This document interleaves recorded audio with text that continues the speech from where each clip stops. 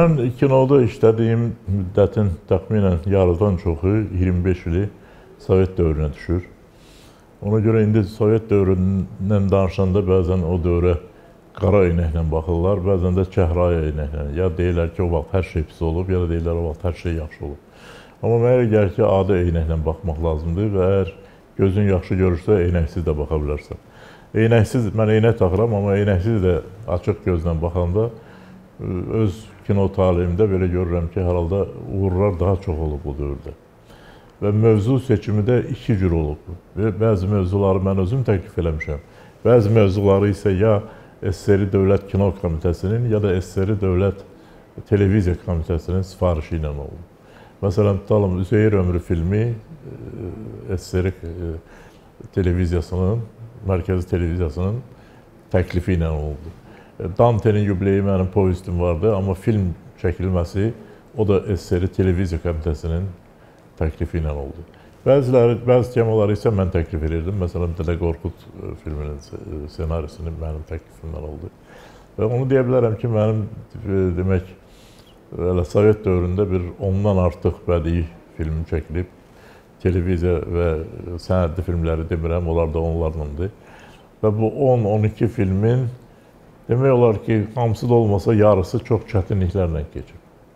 Ya Azərbaycanda müqavimətə rast gəlirdi. Məsələn, Dədə Qorqud haqqında mən filmi e, ssenarisini yazanda əvvəl o jurnalda çap olundu. Bir Dədə Qorqud Qorqudşünas alim kimi özünü təqdim edən bir alimimiz təxminən bir 15 səhifəlik bir məktub yazmış ki, bu filmi çəkmək olmaz. Bu belə Dədə Qorqudu təhrif eləyib və gülməli şeylər. Sonra mən təklif elədim ki, ssenarini Dədə Qorqud haqqında e, tədqiqatları olan, Dədə Qorqudu ilk dəfə Azərbaycanda çap edən görkəmli alimimiz Həmid Araslıya göndərin. O əgər desə ki, doğrudan da belədir, film çəkilməsin, mən razı olaram. E, göndərdilər Həmid müəllimə, Həmid müəllim çox gözəl, müsbət bir rəy verdi ki, bu ssenari Dədə Qorqudun ruhuna uyğundur, amma eyni zamanda kino üslubunda e, yazılmış əsərdir. Bir sözlə kinonun, filmin çəkilməsinə imkan verdi. Onu deyirəm ki, onu demək istəyirəm ki, hətta müstəqillik dövründə də mənim ssenarilərim bəzən çətinliklə keçib. Mirzə Fətəli Axundov haqqında mən ssenari yazmışdım, Səhvin süfürü. Onu da başqa bir alim, bir danos şəklində bir şey yazmış ki, burada güya Mirzə Fətəli də təhqir olunub, xalq da təhqir, təhqir olunub falan. Amma başqa daha obyektiv alimlərə göndərdilər ssenarini, onlar müsbət rəy verdilər. Film çəkildi və çox yüksək qiymətləndirildi çəkiləndən sonra. Yəni bu çətinliklər Sovet dövründə də olub, indiki dövrdə də, müstəqillik dövründə də var. Amma ə, e, çətinliklər öz yerində məni biraz ə, e, ümidsizləşdirən bir şey var ki, indi heç olmasa o vaxt mən mübarizə eləyib bu filmlərin ssenarisini təsdiq elətdirə bilirdim. Yəni mötəbər alimlərə müraciətdənsə. Amma indi mənim 3 hazır ssenarim yatıb qalıb, heç kəs mənə bir fikir demir. Dədə Qorqud prezidentin də göstərişi ilə mən Dədə Qorqud filmindən başqa Dədə Qorqud teleserialının şeyi yazdım, ssenarisini və təhvil verdim Mədəniyyət Nazirliyinə. Qəbul elədilər filan, amma ki hələ də heç kəs bunu çəkilmə. Yaxşı, tutalım bununla mən razılaşa bilərəm ki, Dədə Qorqud filmi çəkilib, bəlkə də ikinci Dədə Qorqud filmini düz ondan çox fərqlənsə də, bəlkə çox sonralar çəkəcəklər olsun. Amma mənim bir e, ideyam ki, mənim e, demək ikisinin ssenarisini də yazmışam, rejissorluğunu da eləmişəm. İkisini isə Ramiz Həsənoğlu çəkib. Dörd belə filmim var mənim. Demək, e, Sübhün səfiri Mirzə Fətəli haqqında, Qəm pəncərəsi Mirzə Cəlil haqqında, Üzeyir ömrü Üzeyir haqqında, Üzeyir bəy haqqında və Cavid ömrü Cavid haqqında. Beşincisi də mən Cəfər Cabbarlı haqqında ssenari yazmışam. Azad bir qurtum adında. O ssenari Mədəniyyət Nazirliyinə vermişəm. Məndən müqavilə bağlayıblar. Amma heç bir xəbər yoxdur. Bunu çəkəcəklər, çəkməyəcəklər, haçan çəkəcəklər, niyə çəkmirlər. Bir də ikinci bir ssenarim var mənim. Demək, o da mənə gəlir ki, çox maraqlı bir mövzudadır. Demək, bilirsiniz, bu iki Bakı milyonerinin nəvəsi, Əsad, Şəmsə Əsədullayevlə Musa Nağıyevin nəvəsi Ümmülbanı xanım sonra gedir Fransaya, orada məşhur fransız yazısı kimi tanınır Banin adı ilə. Və Nobel mükafatı laureatı Buninlə, ondan yaşca çox böyük olan Buninlə tanış olur və bunların arasında belə bir platonik münasibətlər əmələ gəlir. Buninin ona 30-a qədər məktubu var. Sonra həmən o e, Banin xanım e, Buninin son höcəti, İvan Buninin son höcəti Rusca Pasteni Poyedinik İvana Bunina adlı bir sənədli bir əsər yazıb. Mən demək həmən bu onun o, o əsərin əsasında, sonra onun Kafkaz günləri adında əsəri var, sonra onun Paris günləri adında əsəri var və Buninin özünün də avtobioqrafik e, səpkidə əsərləri var. Bütün bunların əsasında mən belə bir ssenari yazdım ki, Parisdə Höcət adında şey ssenari. O da e, hələ ki heç kəs bunu demək maliyyələşdirmək istəmir. Halbuki mənə elə gəlir ki, bu həm Azərbaycan-Fransa mədəni əlaqələri, Azərbaycan-Rusiya mədəni əlaqələri, ümumiyyətlə çox mühüm bir dövr haqqında çox maraqlı bir film ola bilərdi. İndi bu televiziyada əgər bunları siz saxlayacaqsınızsa, mən televiziya vasitəsilə müraciət edirəm həm əlaqədar idarələrə, həm fondlara ki, kömək eləsinlər bu filmlər çəkilsinlər. Bunlar yəqin mənim həyatda sonuncu ssenarilərimdir. Bundan sonra çətin ki, bir də ssenari yazım. Amma çox istərdim ki, bu iki film ə, e, ekranlara çıxsın. Və bunların əsasında filmlər çəkilsin.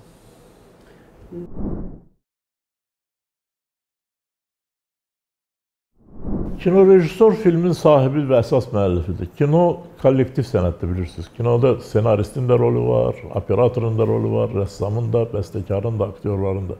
Amma mənim fikrimcə kinonun əsas müəllifi rejissordur hər halda. Və ona görə də mən ssenari kurslarını Moskvada bitirəndən sonra demək mənim bir neçə filmim çəkildi və mənim filmi onda da çəkən, ondan sonra da çəkən bütün rejissorların adını böyük hörmətlə çəkirəm ki, onların çoxsu artıq rəhmətə gediblər.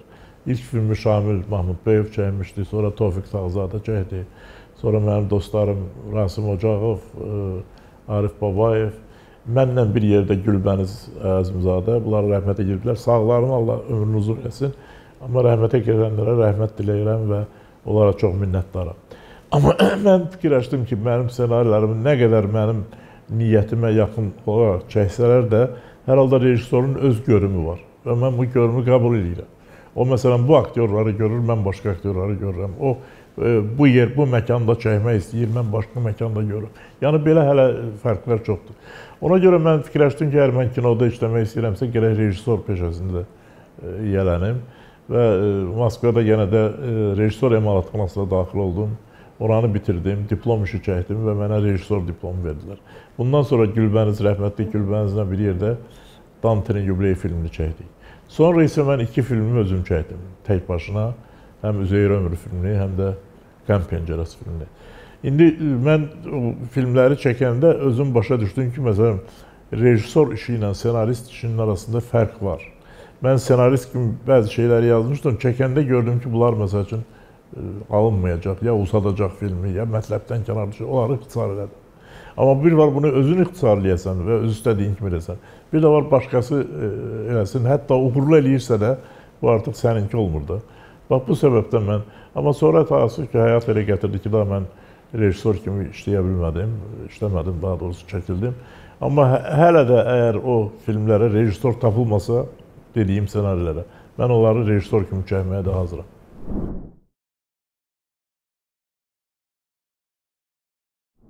Valla mənə bir şey təklif eləmək çətindir, çünki mən indiki demək olar ki, indiki filmlərin çoxusunu da görməmişəm və o görmədiyim filmlər haqqında fikir yürüdə bilmərəm. Sovet dövründə bircə kinostudiya vardı və bu kinostudiyanın çəkdiyi filmlər indiyə qədər televiziya ekranlarından düşmür. İndi də o filmləri göstərilir. İndiki dövrdə də yəqin ki, uğurlu filmlər, filmlər var, mən onu inkar etmək istəmirəm. Amma ki, bilmirəm indi nə dərəcədə kinostudiya bu işdə fəal iştirak edə bilər. Nə qədər imkanları var. Hər halda o kinostudiyanın binasına gedəndə adamın ürəyi qaralır. Çünki ora böyük bir təmirə ehtiyacı var. Hələ binanın özünü deyirəm. Yeni pavilyonlara ehtiyac var, yeni texnikaya ehtiyac var, yeni avadanlığa ehtiyac var. İndi bunları təbii ki, dövlət təmin eləməlidir yəqin ki. Amma bir şey var ki, bilirsiniz, Sovet dövründə axı bizim filmlər yaxşısı pisib çıxırdı bütün SSR e, ekranına, prokatına. Məsələn, mənim filmlərimin tutduğum Dədə Qorqud bütün e, SSR-də göstərilirdi və ən çox tamaşaçı toplayan filmlərdən biri idi. İndi biz ancaq Azərbaycanda, Azərbaycanda o qədər auditoriya yoxdur axı. Mən vaxtı ilə təklif edirdim ki, heç olmasa biz bu Türkiyə ilə və Türk Cümhuriyyətləri ilə bir müqavilə bağlayaq ki, bax bu ölkələrdə prokat bizim filmlər prokat olunsun, göstərilsin. onda əlbəttə gəliri də çox olacaq və o gəlirlərə kino daha da e, inkişaf edə bilər, daha da təmin oluna bilər, yaşaya bilər. Amma nədirsə bu hələ bir proyekt kimi, bir təklif kimi də, hələ proyekt də deyil. Əgər bu təklif kimi bunu nəzərdən keçirsələr və belə bir proyekt olsa ki, dörd bizim e, respublika şeylər, Orta Asiyada türk dilli respublika, bir də Türkiyə kimi 80 milyon əhalisi olan bir ölkədir. Onların filmini bizdə göstərirlər, amma bizim filmləri orada göstərmirlər. Amma belə bir müqavilə olsa, bizim də yəqin ki, elə filmlər yarana bilər ki, onlar üçün də maraqlı ola bilər, göstərilə bilər.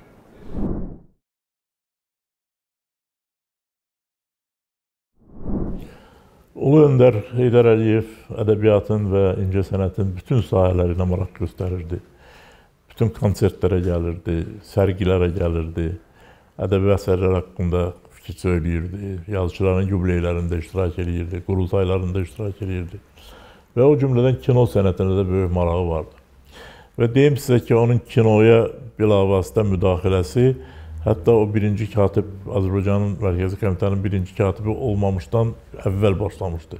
O vaxt Dövlət Təhlükəsizlik Komitəsinin sədri idi və o vaxt e, bir Cənub şəhəri filminə qarşı çox böyük kampaniya gedirdi. Xüsusilə o vaxtki partiya rəhbəri və Heydər Əliyev bu Təhlükəsizlik İdarəsinin rəisi kimi gəlib filmə baxmışdı, bəyənmişdi və e, birinci katib olandan sonra o filmi e, ekrana buraxdılar. O filmdə bilirsiniz, e, Eldar Quliyev çəkib, rejissor Rüstəm İbrahimbəyovun ssenarisi əsasında.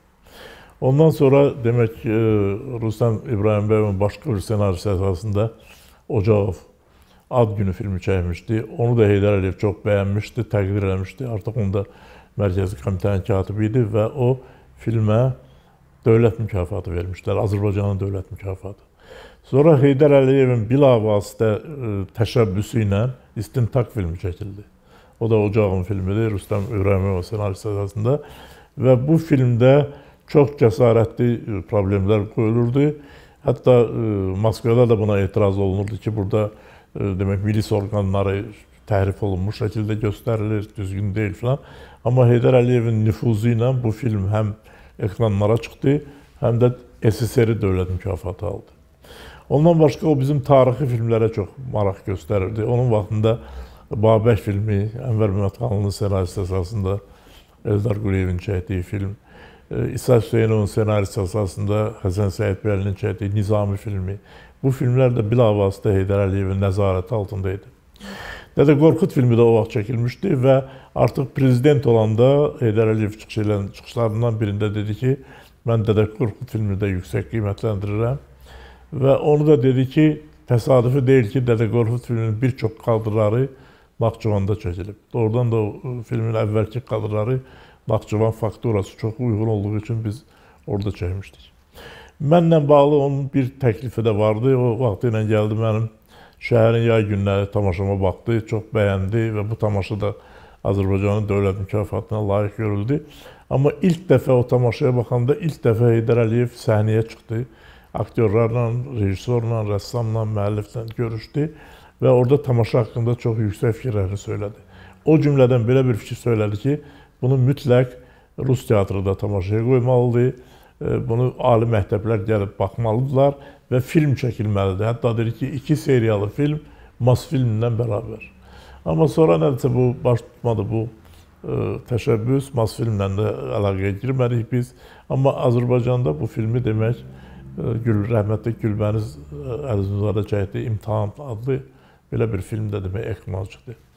Ümumiyyətlə de, yenə də təkrar edirəm ki, Heydər çox maraqlı idi e, sənət əsərlərinə münasibətində çox e, ciddi yanaşırdı. Bu sənətə böyük marağından başqa onu da böyük siyasi xadim kimi yaxşı dərk edirdi ki, sənət də bir silahdır. Sənət də siyasətin əlində bir vasitədir. Təbliğat vasitəsidir. Dünyaya Azərbaycanı tanıtmaq e, vasitəsidir. Azərbaycan özündə şuurların inkişafında böyük bir rol olan bir sahədir. Ona görə də o əlahiddə sənətə, e, ədəbiyyata və kinoya da, xüsusilə kinoya da çox böyük əhəmiyyət verirdi.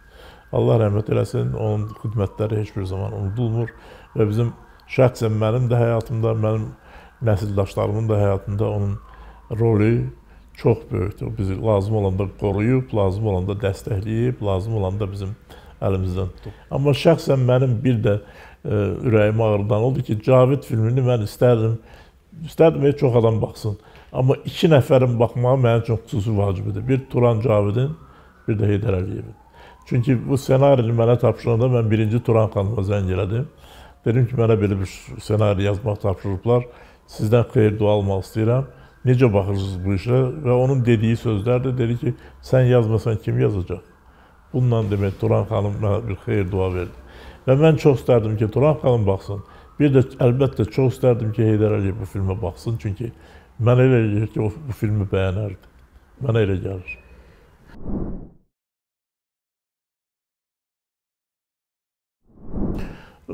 Demək, birincisi e, Moskvada VGIK Dövlət Kinematografiya İnstitutu vardı. Onun ssenari fakültəsi də vardı, rejissor fakültəsi də, operator fakültəsi də, başqa fakültələr də. Oranı qutarmaq vacibidir. Amma o olmayanda, oranı qutarmamısansa, bir başqa ali təhsilin varsa, rejissor e, emalatması da vardı, ssenari kursları da vardı. Mən hər ikisini qutarmışam. Mən 62-64-cü ildə Moskvada ali ssenari kurslarında oxumuşam, oranı bitirmişəm və diplom işim çəkilib film e, Dəniz, Torpaq Dəniz, Od Səma.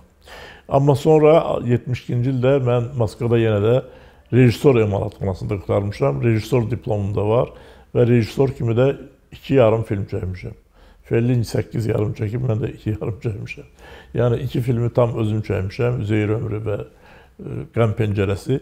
Bir filmi isə Dantenin yubileyini rəhmətli Gülbəniz Əzimzadə ilə bir yerdə. Belə idi ki, e, bu kinematografiya institutuna qılanlar orta məktəbi qutarıb gələn lap yeniyetmə gənclər idi.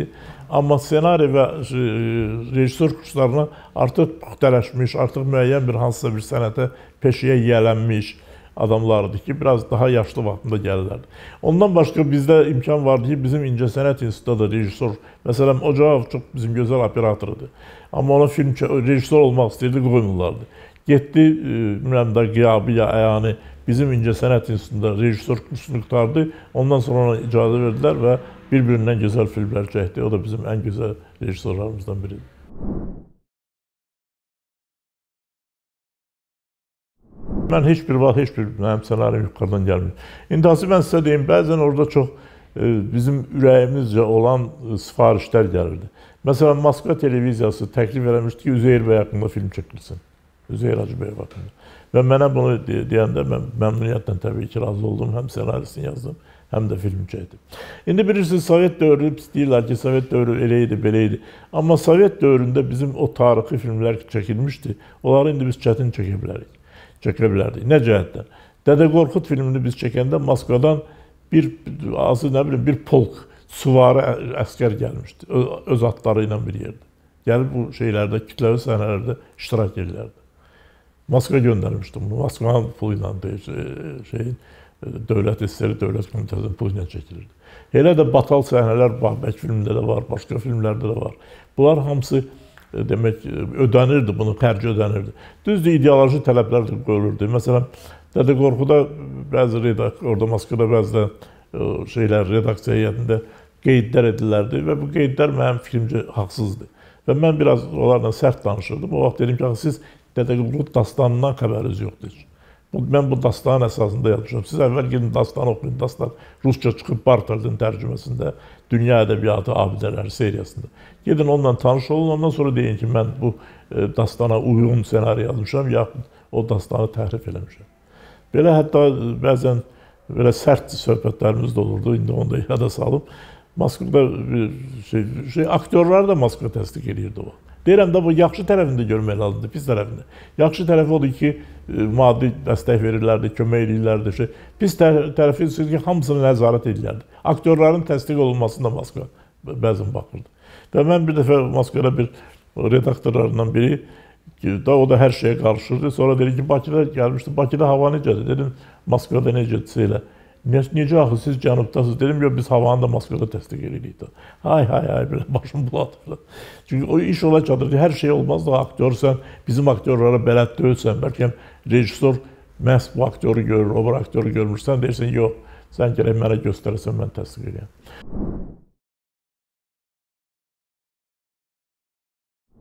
Bəlkə də çəkə bilərlər. Çünki məsələn gün keçdi filmini Sovet vaxt çəkdik də.